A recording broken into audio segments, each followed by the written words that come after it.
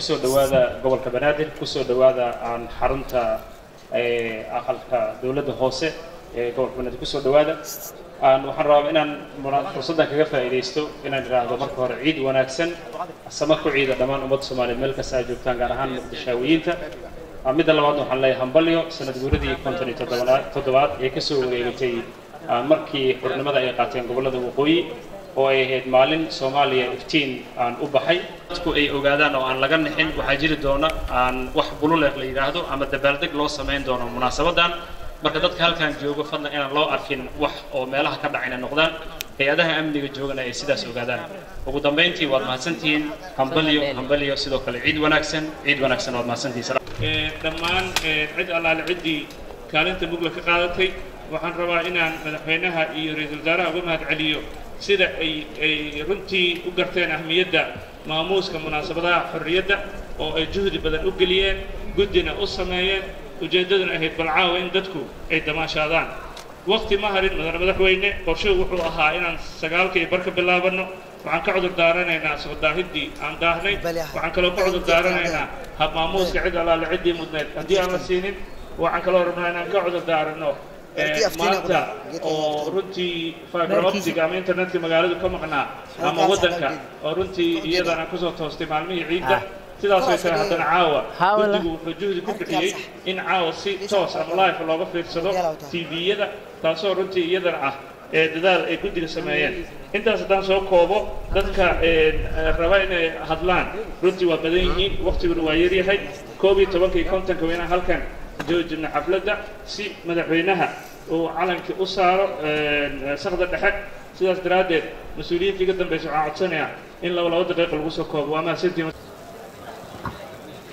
madaxweynaha jamhuuriyadda federaalka soomaaliya guddoomiyaha aqalka sare ra'iisul wasaaraha xukuumadda jamhuuriyadda soomaaliya guddoomiyaha gobolka banaadir ahna duqa magaalada muqdisho xubnaha golaha wasiirada iyo xubnaha kale ee labada aqal ee baarlamaanka jamhuuriyadda federaalka soomaaliya maamulka gobolka banaadir iyo kan magaalada muqdisho iyo toddoba iyo tobanka degmo ee gobolka banaadir xubnaha kale ee ka kala socda wasaaradaha iyo hay'adaha kale ee dowladda safiirada ciidamada qalabka sida ee jamhuuriyadda federaalka soomaaliya iyo ciidamada walaalaheena amisom saxaafadda. Dhammaan assalaamu calaykum waraxmatullaahi wabarakaatu hambalyo lix iyo labaatanka juun. Mudane madaxweyne mudanayaal iyo marwooyin dhammaan taariikhda lix iyo labaatanka juun iyo maalmaha qaran ee kale ee u wastaysan ummadda soomaaliyeed way ogta ugu horeyn waxaan rabaa intii qaran burburku nagu dhacay aniga ka khadiijo maxamed diiri ahaan mudane madaxweyne waxaan ahay qofkii aan ka bixin dalka oo ku sugnaa munaasabadahaas qaran intii laga soo bilaabo cartana burburkii kadib na waa toddoba-iyo toban sano go'aanka weyneynta lix iyo labaatanka juun iyo maalmaha qaran ee loo asteeyey waxaan uga mahad celinayaa mudane madaxweyne adiga iyo ra'iisul wasaaraha xukuumadda. Waayo horay uma dhicin in munaasabadda lix iyo labaatanka juun sidan oo kale loo weyneeyo wayna istaahishay wayna ahayd. Labiiyo tobanka oktoobar oo ah maalinta calan soomaaliyeed loo asteeyey kun sagaal boqol konton iyo afartii lana qaatay xulkii kala saarista naqshadihii la soo bandhigay ee uu hindisay maxamed cawaale liibaan lix iyo labaatanka juun oo gobollada waqooyi ay xurnimada qaateen afar maalmood kadibna kowda luulyo. Intii qaran burburku nagu dhacay munaasabadan sida caawa loo weyneeyey mudane madaxweyne adigii ra'iisul wasaaraha iyo go'aanka aad qaadateen weyneynta waa in idinkaga mahad celinaya jazaakum allahu khayr. Marka intaa ka hor ee la soo maray dad badan oo hadda halkan fadhiya iyo kuwo badan oo golayaasha dowladda ku jira kuna jiray haddana ku jira oo aan ka mid ahayna waxaan dhihi jirnay allow garansii nin moog. Alxamdulilah haddii la helay nin og. Taa waxaan uga gudbayaa kaalinta guddiga qabanqaabada ay ka qaateen maalmahan oo aada u soo saarteen iyo hawshii la geliyey si gaarana waxaan uga sii mahad celinayaa guddoomiyaha gobolka banaadir ahna duqa magaalada muqdisho oo aan rabo laftirkayga inaan caawaad layla qaatay inaan magac u bixiyo. Guddoomiyaha gobolka banaadir runtii ahna duqa magaalada muqdisho waxaan rabaa inaan u bixiyo khaalid bin waliid. Liajlig dowladda markuu ka maqnaa waxbaa ka maqnaa hadda markuu ku soo biirana waxbuu la yimid annagana waxbaan ka aragnay iyo wada shaqayn fiican. Waxaan leeyahay markaa allah yakhaliik mudane guddoomiye ahna duqa magaalada muqdisho. Oo aan aniga k caawa kadib kuugu magacaabi doono khaalid bin waliid. Waxaan rabaa inaan u sii gudbo taariikhdan marka maanta aan u xusayno. Waxay soo martay marxalado kala duwan. Haddaayay heestaas waxaa tiriyey gobollada waa bari qaadayeen maareeyaha tiyaatarka mudane cabdidhuux yuusuf xasan. Kun sagaal boqol sagaashan iyo shantii ayaa waxaa soo tiriyey hees.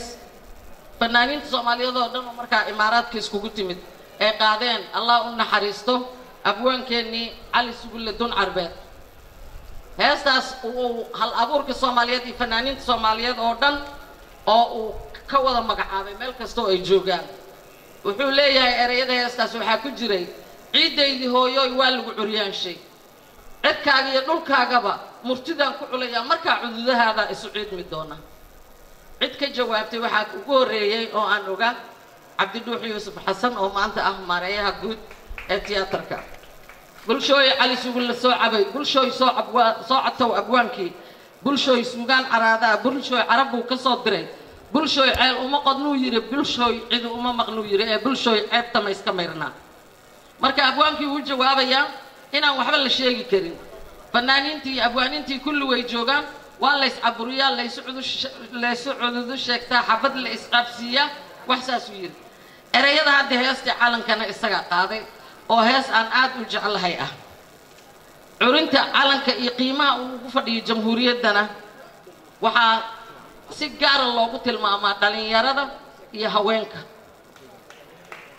Oo loogu tilmaamo saddex iyo toban dhallinyaro ah oo ka soo qayb qaatay halgankii. Xornimada taariikhdana ku qoran. Oo laga bilaabo haddeer fifteen may madaxweynaha iyo xukuumadda guud ahaan la isla qaatay in ay astaantaas qaran meel walba ku dheganaanayso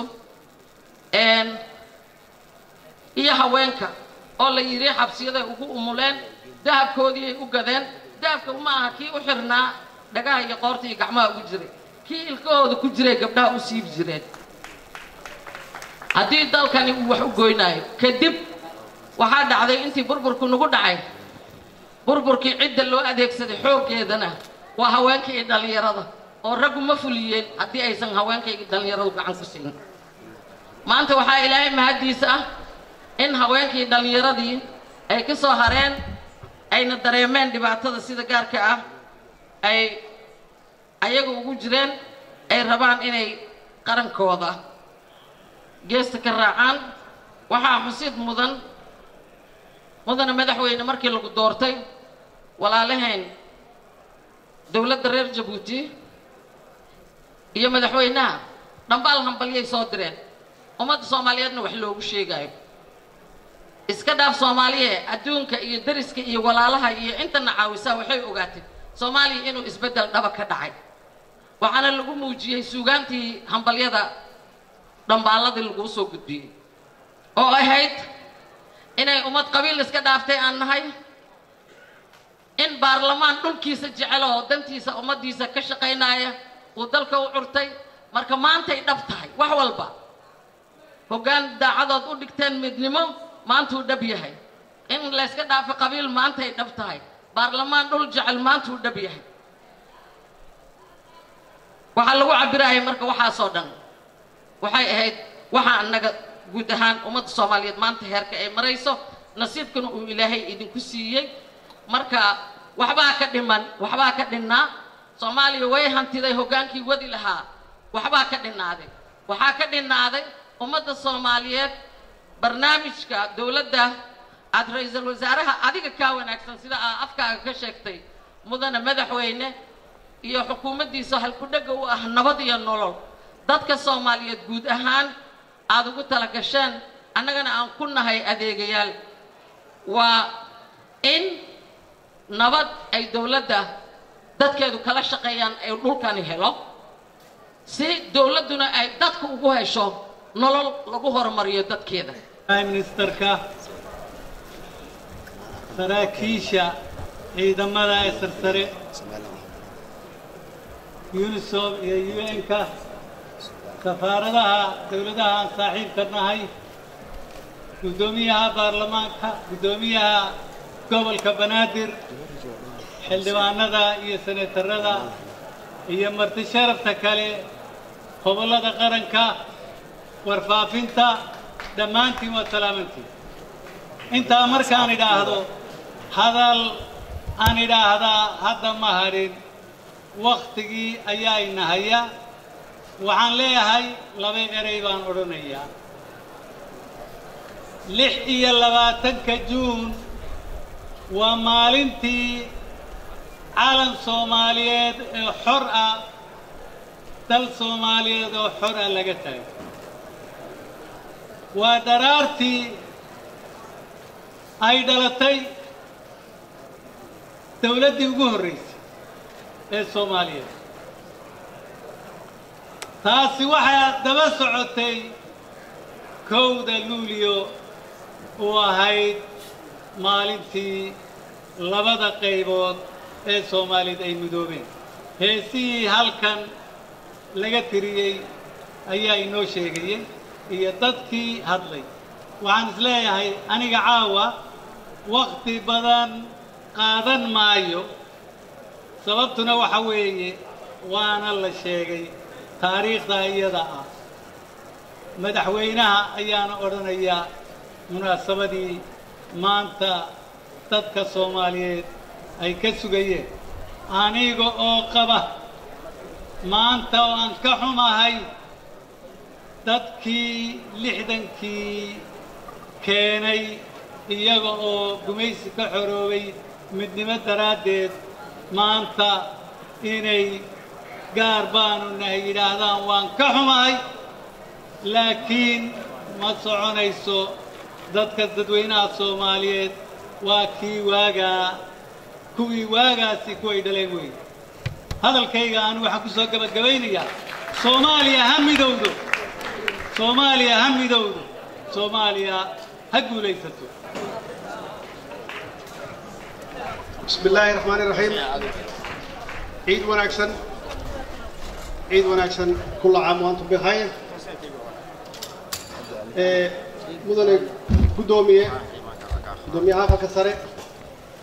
Ra'iisul wasaaraha eh, golihiisa eh, xukuumadda gudoomiyaha magaalada muqdisho iyo gobolka banaadir xildhibaanada labada aqal diblomaasiyiinta marti sharafta kale oo halkan ka soo qayb gashay asalaamu calaykum waraxmat ullaahi wabarakaatu maanta oo kale mar laga joogo konton iyo toddoba sano waxaa calan soomaaliyeed oo gob ah laga dul taagay. Dhul soomaaliyeed oo xoroobay. Dhacdadaas tobanaano kun oo soomaaliyeed ayaa isugu soo baxay magaalada hargeysa. Fagaaraha calankii britishka ahaa lagu dejinayay calankii soomaaliya ahaa calankii soomaaliya lahayd oo curtayna lagu saaray. Hase ahaatee dadkeena aan waagaas joogin ama aan wax badan kala socon taariikhda waxaan u sheegaynaa in calanka buluugga ah ee astaanta qaranka soomaaliyeed. Meeshii ugu horraysay oo laga taagay isagoo xora ay ahayd magaalada hargeysa labaatan iyo lixdii juun kun iyo sagaal boqol iyo lixdankii. Guushaas oo loo dabaaldegay ka sokow kumaan kun kuma kumanaan soomaali ah yaa isugu soo baxday farxaddaas xornimada labaatan iyo lixdii juun. Waxay ku dhawaaqayeen oo dalbanayeen si aan shuruud lahayn in loo mideeyo inay la midoobaan gobollada koonfureed ee talyaanigu markaas haystay ee waalahooda ahaa afar afar maalmood kadib iyaguna waa xoroobeen kowdii luuliyo kun iyo sagaal boqol iyo lixdankii xorriyaddaa ka dhacday labaatan iyo lixdii juun gobollada british somali protectorate somalilan waxaa laga soo hooyey isku duubnaan iyo midnimo shacabka soomaaliyeed. Waxaana kaalin horseeda ka qaatay suugaantii waddaniga ahayd ee abwaanadii ay ka mid ahaayeen xaaji aadan afqallooc barkhad cas cabdulaahi qarshe cabdulaahi suldaan timcadde xuseen ow faarax cali sugul qaasim iyo tiro badan oona halkan aan ku soo koobi karin. Dharaartaas markii uu hubsaday in calankii gumaysiga la laabay. Allaha u naxariistee cabdulaahi suldaan timcadde waa kii inta uu dadkii meeshaas wiimi ka soo dhex baxay tiriyey gabaygii taariikhiga taariikhiga ahaa oo taariikhda galay oo oo odhanayay saaxirkii kala guurnaye sarreeyo ma nusqaamo aan siduu yahay eegne kaasna siib ka nasaar wuxuu ahaa halgan wadareed ay hoggaaminayeen xisbiyadii ay ka midka ahaayeen s n l u s b iyo s y l. Hankii iyo halgankii xariirta ahaa guushii la gaaray labaatan iyo lixdii juun konton iyo toddoba sano kadib markii aan dib u milicsano maxaa noo soo baxay? Waa su'aal u baahan in la isweydiiyo. Waxaa noo soo baxay laba dhacdo. Laba dhacdooyin yaa noo soo baxay. Dhacdo far farxad leh oo aan soo marnay iyo dhacdo xanuun badan. Dhacdada farxadda lahayd waxay ahayd mid qurux iyo geesinimo xambaarsan. Waxay ahayd mid gobonnimo iyo midnimo xambaarsan iyo mid qaran soomaalnimo xambaarsan. Tan labaad dhacdada labaad waxay ahayd mid xanuun badan oo xambaarsan colaad iyo gun iyo iyo iyo gunnimo. Mid xambaarsan burbur qaxootinimo tahriib xagjir saboolnimo qabyaalad iyo qabjab labadaas arrimood tan dambe in ay daboosho tan hore waa nasiib darro. Waxaa ka sii daran in dadka maanta jooga ay aqbaleen nasiib darradaas. Ha u badnaadaan dhallinyaro oo markay arkaan xaaladdu inay adag tahay tahriiba ama qaxooti noqda ama qaarkood qoladan dhibka badan oo dhibkan uga haysa ee u yartaan oo maskaxda ka xadaan. Waxay ahayd dhallinyaradu inay noqdaan xooggii dalka waxay dhallinyaradu ahayd inay noqdaan kuwii badbaadiya qaarnimadooda iyo dowladnimadooda. Waxaa kaloo iyadana nasiib darro ah in ehel soomaali ehel wada ah oo wada dhashay iyo hilba aan kala go' lahayn isla markaasna ay qaar yar oo kooban oo doonaya inay hayndaab nagu kala nagu kala nagu kala hayaan walaalayaal haddaba xuska labaatan iyo lixda juun waxaa walaalaheenna gobollada waqooyi dhallinyaro iyo waayeen rag iyo dumarba aan ugu baaqaya inay tahay mas'uuliyad in inoo wada yaalla inaan dib u hanano qarannimadii iyo midnimadii dalkeenna iyo waddankeenna iyadoo taariikhdeenna dhow qaybteeda xanuunka iyo foolxumada leh ay tahay inaan ka gudubno. Si aan u gaarno mustaqbal ka wanaagsan kan maanta aan ku suganna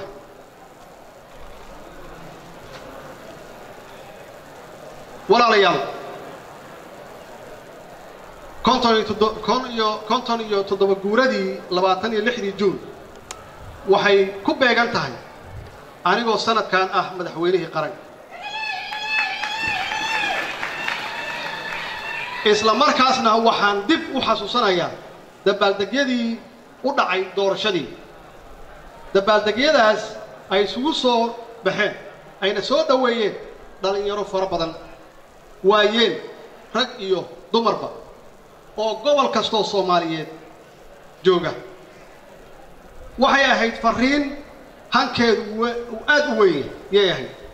Saldhiggeeduna uu ahaa nabad iyo nolol midnimo iyo cadaalad. Marka munaasabaddan waxay tahay mid aad iyo aad noogu weyn ama ugu weyn taariikhdeenna waxaana dadka soomaaliyeed meel kasta ay joogaan aan ugu hambalyanaya konton iyo toddobada guurada ka soo wareegtay maalintii calanka soomaaliyeed oo xora laga taagay dhul soomaaliyeed. Waxaan dhabbaalkayga hambalyada ah aan ku khatimaya inaan soo xigto erayadii suugaanta ahaa ee ka oohoysay ee- ka oohaysay fanaanadii caanka ahayd oo aan wada jeclayn khadra daahir cige. Waxaa tiriyey maansadaas shukri gelay erayadaasi waxay ahaayeen isma huri karro. Hilib wada dhashayo. Hayb qura ayaan nahay. Isma huri karro. Hilib wada dhashay iyo hayb qura ayaan nahay. Aniguna walaalaheen reer somalilan sidaasoo kale waxaan leeyahay walaalayaalow isma huri karro. Hilib wada dhashay iyo hayb qura ayaan nahay.